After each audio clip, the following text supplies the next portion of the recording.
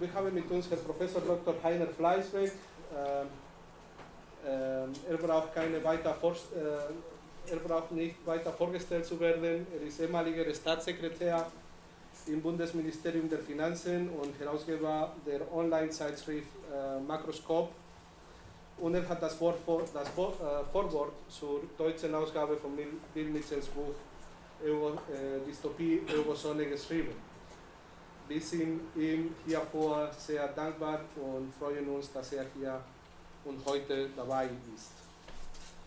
Wir haben auch hier mit uns Dr. Dirk Enz von der äh, Europa-Universität Flensburg. Dirk ist ein guter Freund des Verlages und wir rechnen es ihm hoch an, dass er zurück von einem Besuch bei der Missouri Kansas City University direkt von dem Flughafen den Weg hierhin genommen hat. Uh, unsere zwei internationalen Gäste uh, sind der Journalist Thomas Fazzi, der gerade mit uh, Bill Mitchell das Buch Reclaiming the State geschrieben hat und wird uns heute von diesem Werk berichten. Last but not least wird der Autor von Dystopie Ozone sprechen. Es handelt sich um Professor Dr. William Mitchell von der Universität Newcastle in Australien. Auch Bill ist ein guter Freund des Verlages. Äh, wir haben auch seine, sein Buch äh, Dystopie Ozone auf Spanisch äh, veröffentlicht. Und zudem auch ein faszinierender Mensch. Er ist äh, der Vater der Modern Monetary Theory, der modernen Währungstheorie. Das Buch, das wir heute vorstellen, Dystopie Ozone, ist meiner Meinung, meiner Meinung nach sein äh, vorerst bestes Werk.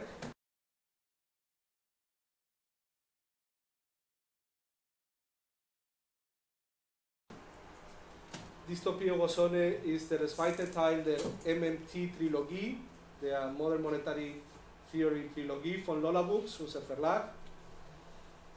Zu Beginn dieses Jahres haben wir die sieben unschuldigen, aber tödlichen Betrügereien der Wirtschaftspolitik von Warren Mosler veröffentlicht. Heute stellen wir Dystopie Ozone vor und im kommenden Jahr werden wir die deutsche Fassung von Understanding Modern Money von Randall Ray veröffentlichen. Diese drei Bücher stellen die, moderne, äh, die Modern Monetary Theory ausführlich vor. Es handelt sich um die wichtigsten Titel zu diesem Thema. Nichtsdestotrotz besitzt äh, Dystopie Eurozone ein Merkmal, das die anderen Titel nicht haben. Dieses Buch nutzt die Kritik an dem Euro auch als ein Mittel, den Neoliberalismus in seiner Gesamtheit zu entlarven. Dadurch wird die tatsächliche Beschaffenheit des Euro enthüllt, die darin besteht, dass er die Quintessenz des neoliberalen Projektes bildet. Aus diesem Grund lautet die wichtigste Botschaft von Dystopie Ozone wie folgt. Die Konsensustheorie unseres Wirtschaftssystems ist falsch und muss neu gedacht werden. Ich werde meine Rede mit einem Beispiel beenden.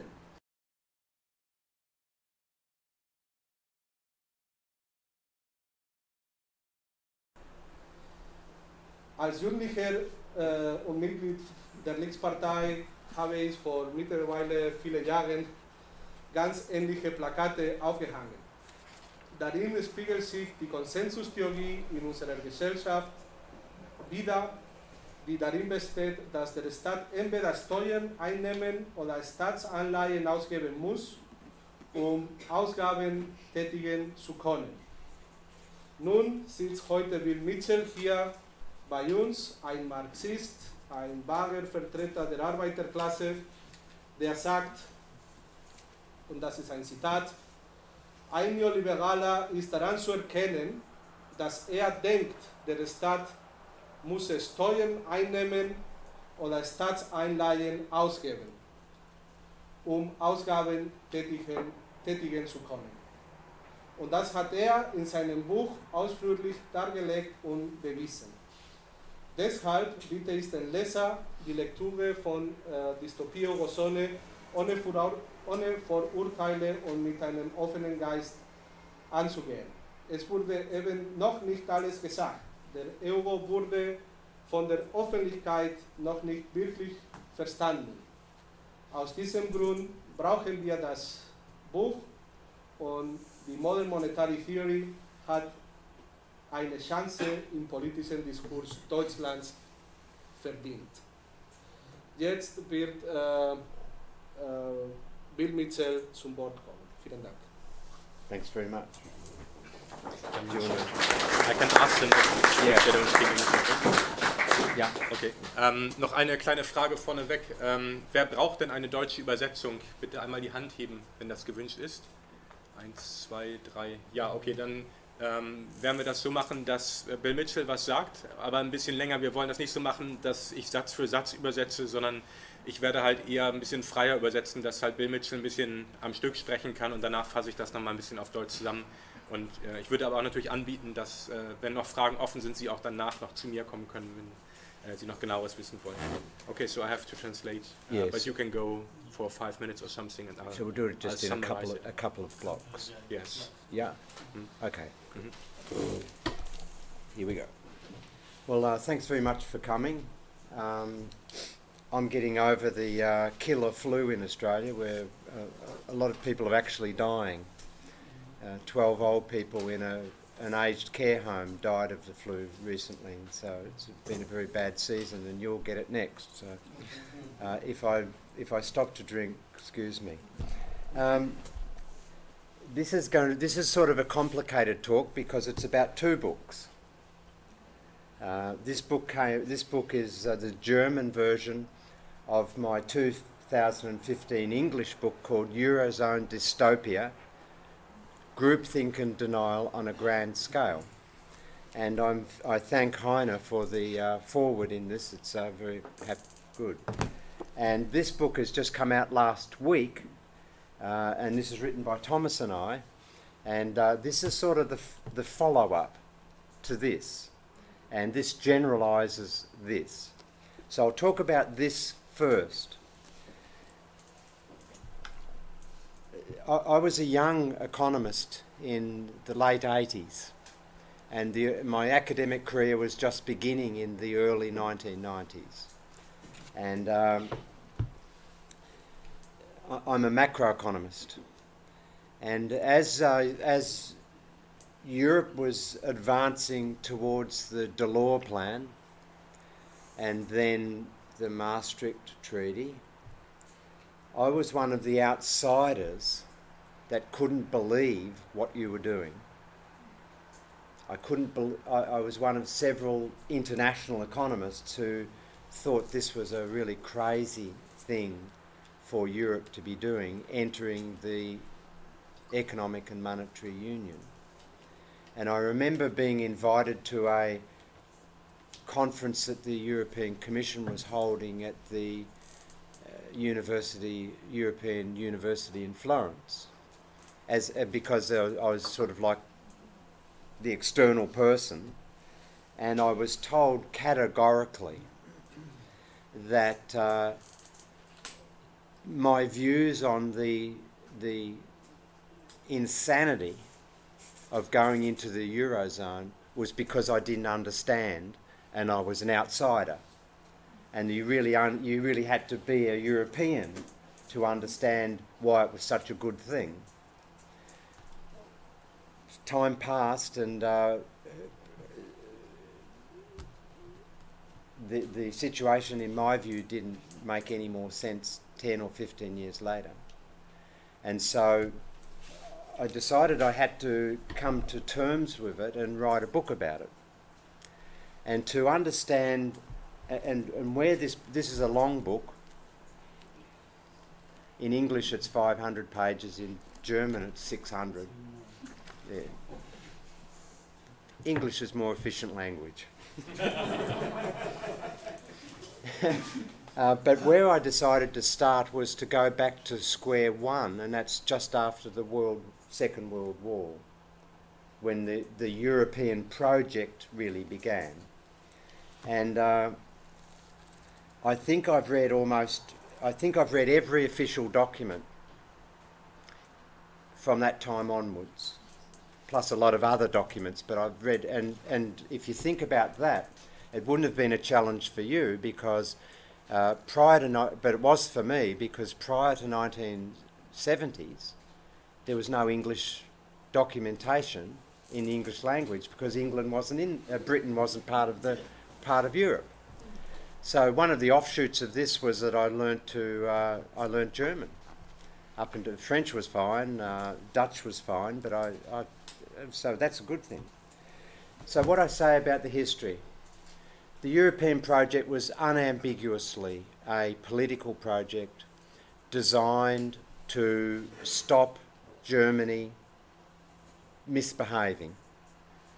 And it was driven a lot by the French. And the so-called Franco-German rivalry underpins the whole, whole developments. And uh, one, of the, one of the early uh, expressions of the new Europe was the Common Agricultural Plan. And the Common Agricultural Plan is very important and I mean, of course, it was the, the, the French rural lobby, the farmers, uh, bullying the French government into this, and the French government saw it as a way in which the, they could get cross subsidies from Germany for their farmers. And of course, at the, at the same time, Germany's motivation for all of this was that, and I say this respectfully, Germany was in shame at, at this time uh, a, a, an international pariah. And to reinvent, reinvent your country's image and to reinvent your sense of decency, you had an incentive to become part of Europe and show that you weren't, weren't the Germany of the past. And of course, the way you wanted to do that was to build a massive industrial strength and that uh, to build that industrial strength, you needed to broaden your markets. And so you had an incentive to cooperate with all of this too. And uh, the problem with the Common Agricultural Plan was that it tied you into fixed exchange rates within the European market. And uh, because the pricing structure was so complicated that having flexible exchange rates, it would have been unworkable. And so from the early 1960s, Europe was on a course where you had fixed exchange rates and you had to do everything you could to maintain them. And uh, at, at a time when the fixed exchange rate system that we were all part of, the Bretton Woods system, was proving what we all knew would, would happen to be dysfunctional. And the 1960s really brought that out into re relief the problems of the trade imbalances, the problems of the US dollar having to be always into deficit to keep the trade system functioning, and uh, the problem of the political problem of all of the external deficit countries uh, always having to maintain a bias, a deflationary bias in their economy because of the needs to defend the exchange rates when you've got external deficits. So it was a dysfunctional system and it collapsed in August 1971. And as part of the progress towards so-called integration within Europe, there were a number of major studies and analyses, and I think I'm going to turn this off, it's too hot. Yeah. Do you want to turn it on? Uh, th there were, sorry about that. There were a number of uh, studies, and the first one was the Werner report, Pierre Werner's report in 1970. And it, it did what a researcher would do, go out and study what working federations are like. So uh, Canada and uh, um, the US and Australia, they're all working federations. And Werner came back and said, summarising, that if you want to make have an economic union as a federation, you needed to have a federal fiscal capacity, that is a, a federal government which could tax and spend and, uh, and um, facilitate cross regional trans inter interregional transfers. In other words, between countries in this context whereas in Australia it's between states as it is in the US. And summarising again, that you needed to embed that federal fiscal capacity within a uh, uh, with democratic accountability at the European level. So they're thinking about the, the European Parliament taking democratic responsibility for fiscal policy, just in the same way that the Australian government is elected by the people and conducts fiscal policy on behalf of all of the states and takes responsibility for that politically. Uh, the, the Werner report was largely disregarded, and that was because the French and the Germans couldn't agree. And it was followed by another report somewhat later, 1977, the, the MacDougall report, which did a similar thing, went and studied federations, and came up with uh, the same conclusions plus an additional one. That is that the requ- in summary, the requirements for an effective economic union in the in the European context, the requirements for an effective union cannot be met within the current historical and cultural period. And what he was what that report was saying was that the member states that existed then, which much, was much smaller than exist now, have such historical and cultural differences that there is no possible way in the foreseeable future that those member states could come together and build a structure that would be functional. And what I meant, a federal fiscal capacity, a, a democratic responsibility at the federal level, and those sort of things. And what, what, what changed things was an additional development in the academy. And this is what we call this monetarism. Because, uh, because up until then, and I'm thinking about France at the moment, the um, planning ministry was dominant in France. And uh, this was uh, uh, Jean Monnet's domain. This was the post war planning and reconstruction after the war. And they were very much what we call Keynesians, and so they were very much driving what Werner was thinking in those days. And the finance ministry of the French government was subservient and they had become uh, they had become they were much more in outlook towards the German way of thinking. And what happened is that monetarism came along and changed the whole balance of power within the French government. And so you suddenly had this view coming out of the French government that was not so inconsistent with the German view of monetary discipline, fisc passive fiscal policy, uh, an, uh, an, emphasis on price stability, uh, and the, the old de Gaulle nationalism, which had, which had opposed supranational national developments, really went by the wayside. And that allowed Delors, then, who was a French socialist, remember, never forget that, that allowed him to push the Delors plan and the, towards the treaty which was the, which is where you are today. And uh, so the, if you understood the, the problems that Europe had leading up to there, with trying to manage their exchange, the, the exchange rate system, and there were a sequence of, of exchange rate systems, the snake in the tunnel, and then the, that escaped the tunnel, so they abandoned the tunnel and just had the snake. That didn't work, so they went to something else. And by any reasonable person, and, and that's where I was. I was young and come, came into the debate about then, and you know, studying all of the struggles that Europe had trying to maintain fixed exchange rates through the 1970s and 1980s, just told me that it was just it was like a huge neon sign that you can't do this. And if you try to try to go into a monetary union and fix it and just have one exchange rate, well then all of that tension that was in the exchange rate systems before Maastricht would be domestic tension, and, and that's what we've seen. So that's the first part of the story, and I'll hand over to Dirk.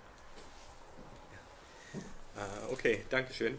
Ähm, ja, Bill Mitchell bedankt sich fürs Kommen bei Ihnen. Ähm, er hat kurz erwähnt, dass es in Australien eine Killergrippe momentan grassiert und äh, dass er hofft, äh, mehr oder weniger nicht hier alle anzustecken.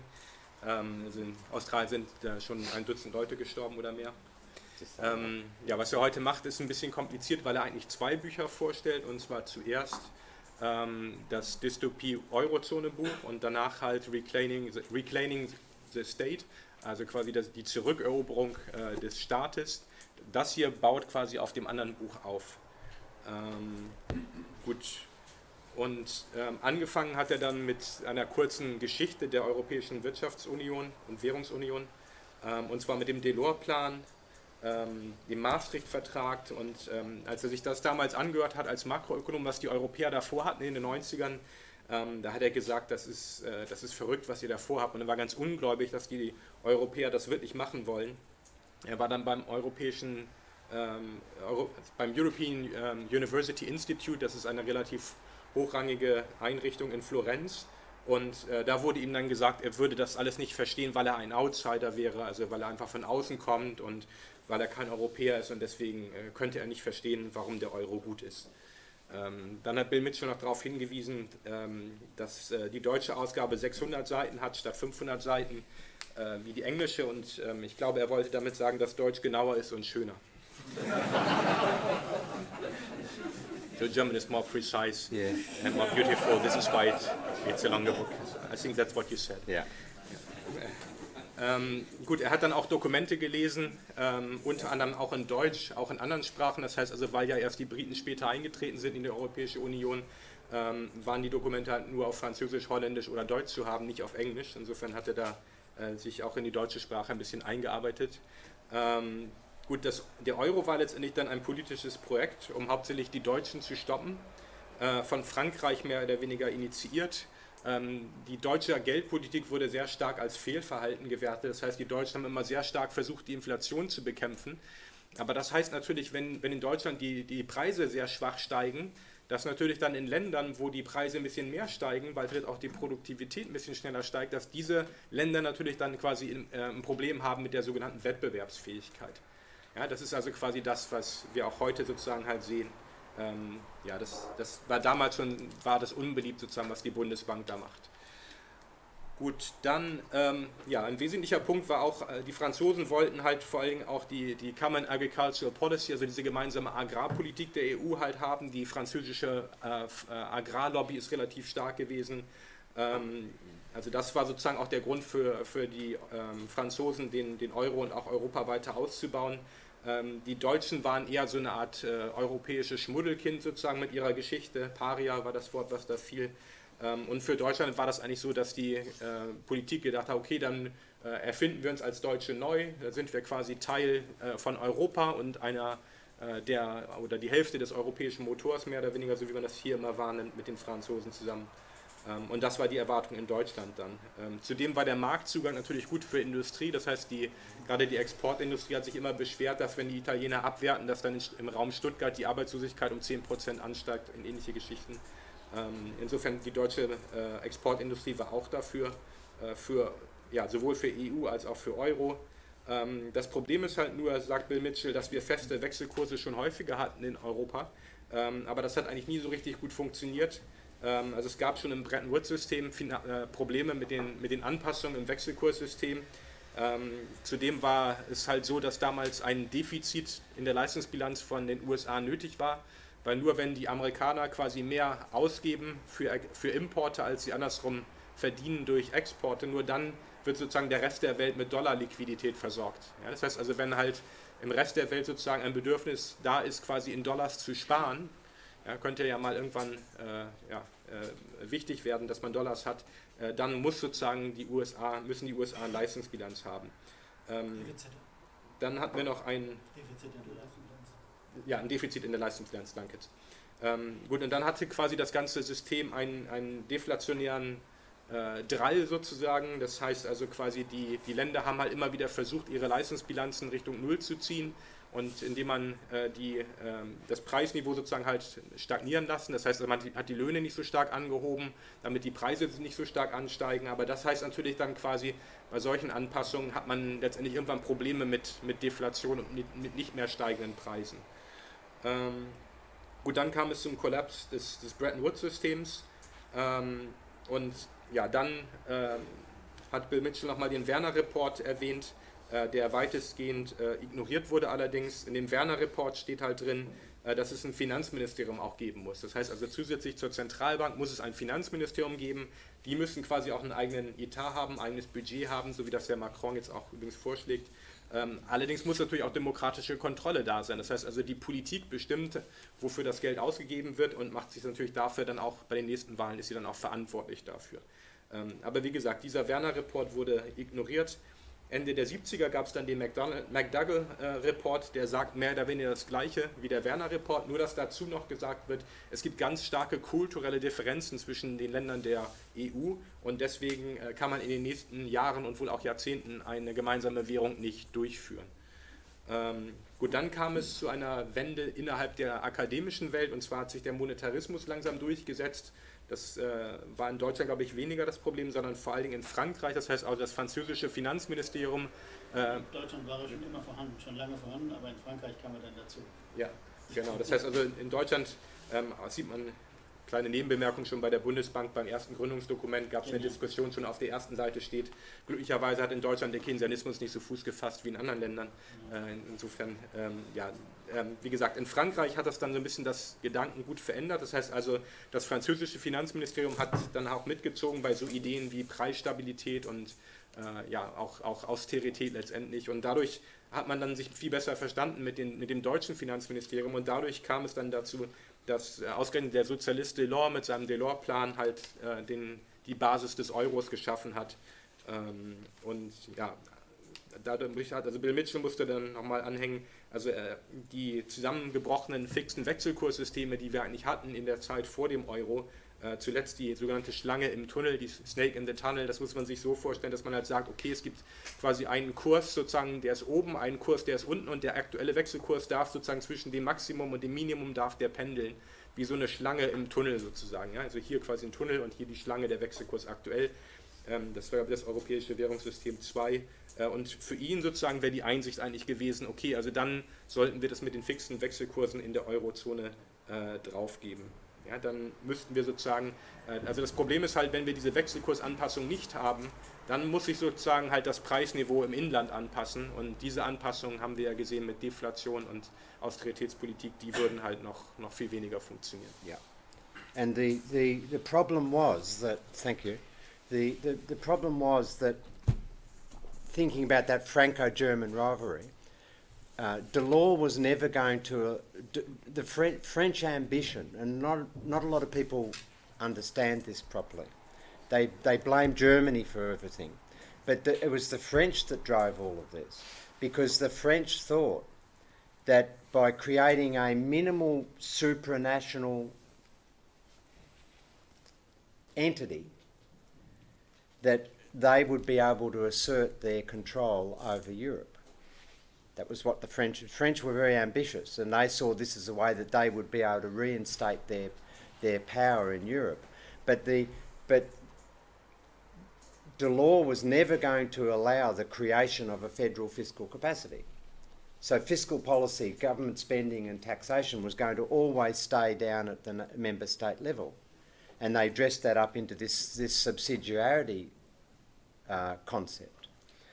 But um, the, the, Germans were never going to allow uh, a free for all at the member state level in terms of fiscal policy.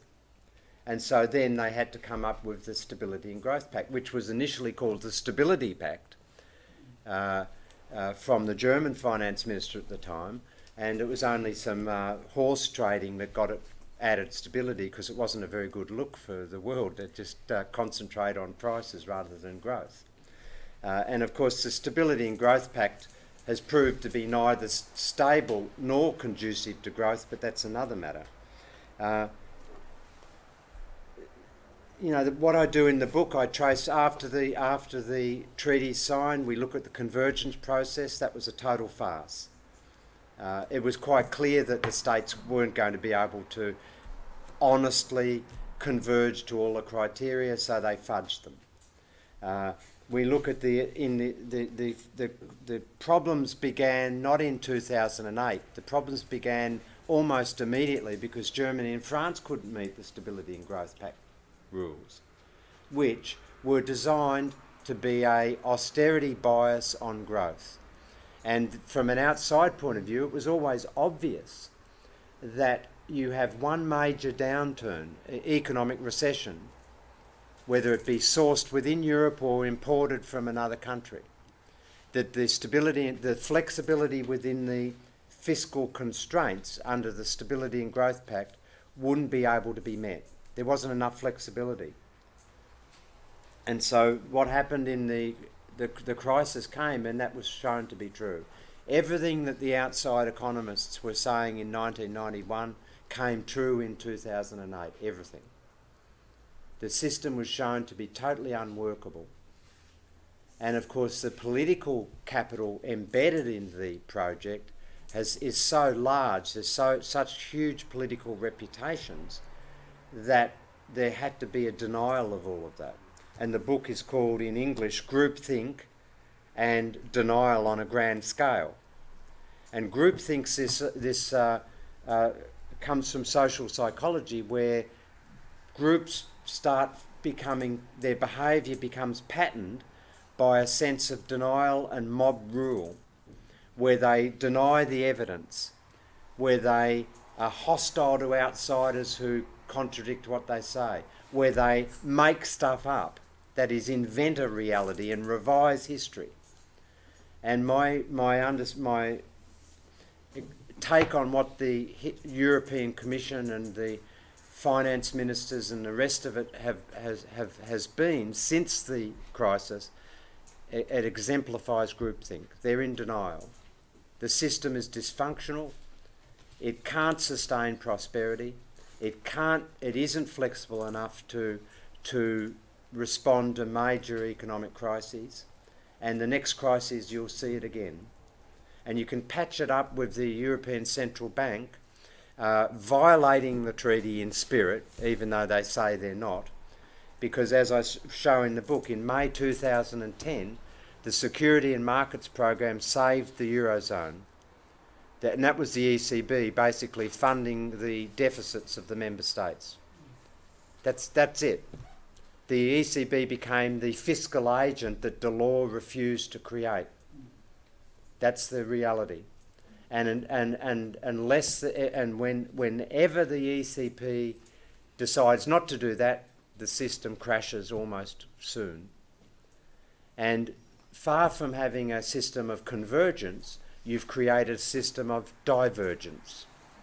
You've created a system of, of, of increased poverty, mass unemployment, a bias towards austerity, and there is no other way that the system can respond when it's structured in the way it is. And so the final part of the book provides what I call a roadmap out of that dystopia and I'm not sure whether dystopia has a meaning in German, but what it means is the opposite to utopia. It means a total nightmare disaster. And so, what I argue is that the best thing forward for Europe is to have an orderly arrangement where you agree that the system is dysfunctional, hasn't worked, and you go back to, you dissolve the common currency. Now, that doesn't mean you dissolve Europe, because the European project, which started off as a political project, made sense. And in the current context, you could conceive of the European project as being the ideal level of cooperation for climate change and migration issues, but not to manage fiscal policy at a national level. And so, if and if the if the members of the eurozone, there's now 19. If you if you are unable to do that, I then advocate uh, countries unilaterally exit.